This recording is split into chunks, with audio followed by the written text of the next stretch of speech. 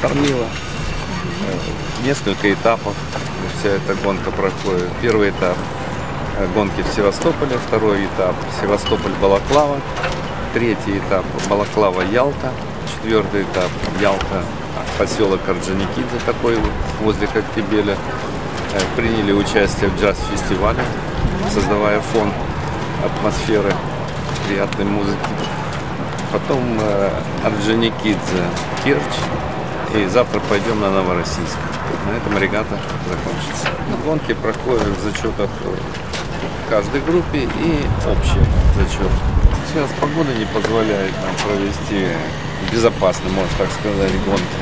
Поэтому нам это время заменили на экскурсии. А если ветер стихнет, планируется вечером провести все-таки эту гонку.